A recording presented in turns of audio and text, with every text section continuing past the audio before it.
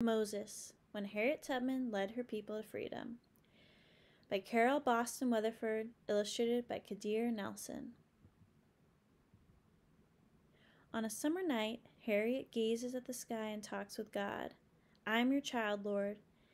Yet Master owns me, drives me like a mule.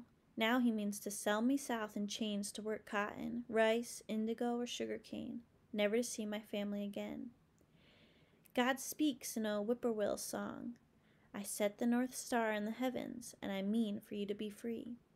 Harriet sees the star twinkling. My mind is made up. Tomorrow I flee. God wraps her in the blanket of night, and she returns to the cabin, sleeps beside her husband one last time. The next day, Harriet tells not a soul her plans. She grips the axe to chop wood, breathes deeply, and murmurs, Lord, I'm going to hold steady onto you. And God whispers back in the breeze, I'm going to see you through, child. At dusk, Harriet chants, When that old chariot comes, I'm going to leave you. She hopes her loved ones hear her song and know it means farewell. While the plantation sleeps, Harriet prays, Lord, send me a sign. Owl screeches, The hour has come. Harriet slips into the night. Running through the swamp, she hears frogs croaking and her own heart pounding. Lord, I can't make it alone. In the moon's reflection on the creek, she sees God's face. Harriet, you dream that saints saved you, but mortals will give you refuge. The woman in the wagon who always spoke kindly to me. Yes, Harriet, I must go to her. The woman points Harriet to safe havens, hiding places for runaways, and Harriet steals away into darkness. She creeps through the woods, her heart flutters. Hush, hoofbeats. Please, Lord, don't let them catch me and take me back to face Master's whip. Don't let my journey end here. In the underbrush, Harriet sinks into a deep sleep. God cradles her. When she wakes, the men on horseback have passed, and day breaks. Thank you, Lord, for watching over me. In a clearing, the safe haven, Harriet knows that most strangers would turn her in, not help her. But the farmer's wife feeds Harriet, then tells her to sweep the yard. I don't know who to trust, Lord. Search for my face in theirs, and for my hands in their work. What have you in your hands? In a dust cloud, she sees the broom become a staff, then a rifle. Harriet startles, but holds on. I will arm you against your enemies, but you will not harm a soul, and no harm will come to you. The dust settles as she stops sweeping, and all is as it was. At nightfall, Harriet climbs into a wagon, and the farmer covers her with blankets. As the wagon wobbles along, Harriet worries that it is heading to jail. Should I leap, Lord? Trust me to protect you, child. A heart song lulls her to sleep. Swing low, sweet chariot. The wagon stops at dawn. Harriet walks till her legs ache, then she leans against a tree. Lord, I miss my folks. Harriet, your father taught you to read the stars, predict the weather, gather wild berries, and make cures from roots. Use his lessons to be free. You will meet again. A mosquito buzzes in Harriet's ear. She rises and moves on. A boatman rows her upriver. Back on shore, hounds snarl, sniff for Harriet's trail. She races as fast as she can. Lord, I can't outrun them. God speaks through a babbling brook. Shed your shoes, wade in the water to trick the dogs. Upstream, the barking ceases and fear washes away. Thank you, Lord. Harriet's feet bleed and her gut churns. Under the stars, she draws near to God. Lord, don't let nobody turn me round. I'd rather die than be a slave. Harriet, keep going. You have already glimpsed the future. She recalls dreams where she flew like a bird, sank and was lifted by ladies in white who pulled her north. Fly, Harriet, your faith has wings.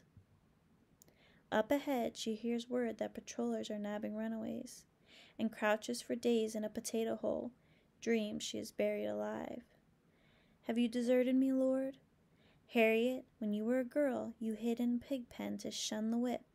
You fought hogs for table scraps, almost starved before you faced the lash. I am with you now, as I was then. An old prayer comes back to her Lord, make me strong, help me fight. After seven days, Harriet rises from that hole like a sapling, reaches for the sun as if to touch God's hand. By moonlight, she marches on, making her way mile after rugged mile, hiding in haystacks, attics, and barns, holding God's hand all the while. She often wearies. How far, Lord? As far as you can walk with me, my child, and I can carry you. When Harriet is about to drop, a couple in a wagon ride by. They say slavery is a sin, and they take her on the last leg of her journey. Not far now, child, not far now. In the promised land, Philadelphia, the sun shines gold in the trees, and Harriet feels light as a cloud.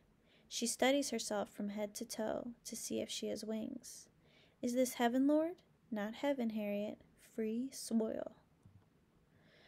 But freedom brings new woes. Lord, I am a stranger here. All my kin are down south. Would you like to see them? As Harriet dusts, her family's faces appear in the wood grain. She wipes a tear from the table. I would make a home for them here. I would give my own life to free them. Then go back for them, daughter, but first go to my house to prepare for the journey. And Harriet goes to church finds not just holy ground, but a stopping place, a station along the Underground Railroad, that slaves travel to freedom. Harriet hands out shirts and shoes, serves butter beans and biscuits to newly arrived runaways, while agents who plot escape paths pass on secret routes that she learns by heart. Finally, a conductor, a guide, she turns to God. I am ready, Lord, lead me. Harriet, I will make a way for you. Risking her own life, Harriet returns to the dreaded South and rescues her family. But she dreams of slaves still in the yoke. She hears their groans, sees their tears, tosses and turns in her sleep. Then God opens her eyes. Harriet, be the Moses of your people. But I am a lowly woman, Lord. Harriet, I have blessed you with a strong body, a clever mind. You heal the sick and see the future. Use your gifts to break the chains. I will do as you say, Lord. I will show others the way to freedom that you have shown me. Save all you can, daughter.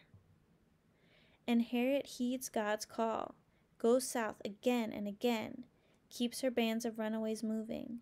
Comes storms and rough country, clear to Canada, Canaan land, and when free souls sing her praises, she gives glory where it is due. It wasn't me, it was the Lord. I always trust him to lead me, and he always does. Well done, Moses. Well done. If you'd like reading response activities to go with this book, click the link below the video. There's also a link to buy the book for a screen-free story time. Please like, share, and subscribe for more videos like this one. Thank you for reading with us.